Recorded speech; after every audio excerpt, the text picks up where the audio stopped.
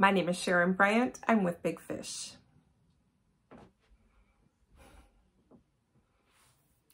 Ever since she was about 12, she had chronic depression. Her father had depression too. Even, even I was on antidepressants when I was her age. She had control of it.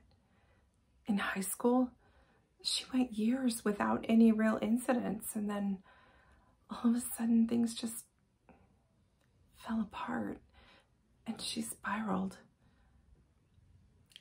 I asked her to come home over and over, but she just said no.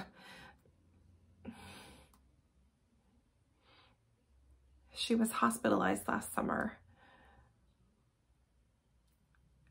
You know, really thought that she would get past it. I thought it's just a matter of time till she finds the right medication or the right therapist and, and things will go back to normal.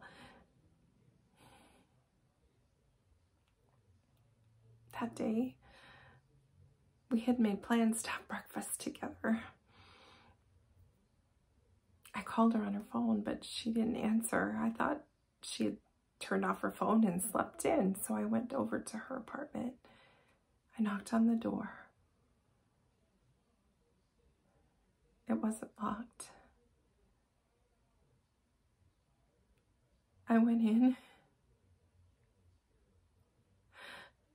I found her lying on the floor.